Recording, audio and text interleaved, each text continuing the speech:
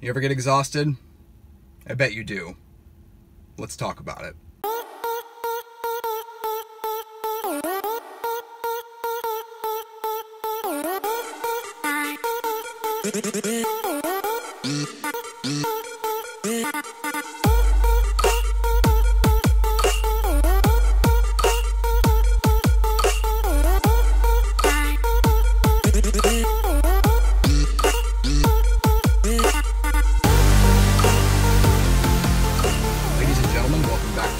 Another episode of Tesla Therapy. As always, my name is William D. You can find me on Twitter at the Agitated Rock. You can find All of Us Studios content on different social media platforms at All of Us Studios on Twitter, YouTube, Instagram. We also live stream every single week, Tuesday, Wednesday, Fridays, twitch.tv slash all of us studios. Come check us out. We have awesome gaming content and podcast content for you guys that touches on all of our positivity that we'd like to share with you guys. So today, guys, we're going to talk about exhaustion, burning the candle at both ends, you know, just how it takes a toll on your body, how it affects you mentally, how it affects you physically, and I'm going to share some of the, I guess, trials and tribulations and instances that I've had, and I want to share them with you today regarding just pure exhaustion. Um, as you guys probably know, if you've watched some of the Tesla therapy videos from before, I uh, I try to fill up my schedule pretty pretty plentiful. Um, I have worked in customer service, like I was saying, for basically my entire life, and also on top of that as well too, as you guys know, I create content. So it's definitely a burning a candle at both ends situation.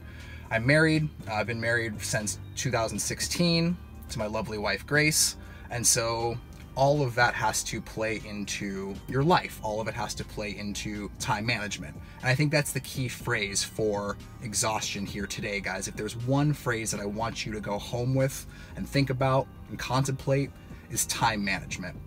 I believe that the older you get, the more experiences that you have in life, and the more things that you can attribute to success and failure, all result in time management. How could you have managed your time either better, or did you manage your time really well and you gave yourself extra leeway to be able to relax or decompress at the end of the day, or the week, or the month, or the year? However, your work schedule works, however, your ebbs and flows go out through the day, are you giving yourself enough time? Are you managing your time? And I know for me personally, at 31 years old, that's only gotten better and better. Now, on the flip side of that coin, it's tough. I'm not going to sit here like always and tell you guys that things are easy. That's not true. That's not what this channel is about. It's about self reflection. It's about looking inward and being your best self, but also knowing what tools you have and acquired throughout your history as a human being to utilize those tools and put those tools in practice to make yourself feel better, act better, and just be better in public in general, and just to have better mental health, have better physical health. All of these things come down to time management, especially when you're dealing with exhaustion. I know for me personally, um, you know, just last weekend, we had three live streams in one day.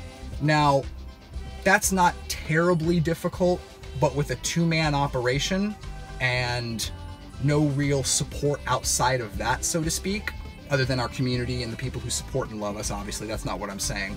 But I'm talking about a hands on person or people or a team helping out and seamlessly integrating things together and firing cues and making sure our audio is correct and making sure shots are right, making sure our green screen is chroma keyed in properly. All of those things Brian and I make happen behind the scenes. And then we also get on camera and talk about different topics, different things, our podcast, whatever it may be. So, what I'm saying here, guys, is being able to time manage something like three live streams in a single day is exhausting when you only have two people. There's no excuses. I loved it. I loved every single minute of it. As a matter of fact, when I was tired at the end of the day, it's 12:30, 1 o'clock in the morning, go back upstairs, try to lay down for a little bit. I was buzzing. I was so ecstatic and so happy and so, you know, uplifted and on such a high at that point that it was hard to go to bed. We just created a bunch of content and we were living that moment. We were living in that moment. And so that's where that exhaustion starts to catch up with you, and you have to take care of yourself, and you have to know that you are overexerting yourself to a certain point. So, like I said, time management, be aware of exhaustion, and understand that these things are real and they affect you positively and negatively. So try to do your best to go ahead and use it in a positive light, as we always say on this channel, and be your best person. As always, thank you so much, and we'll see you next time.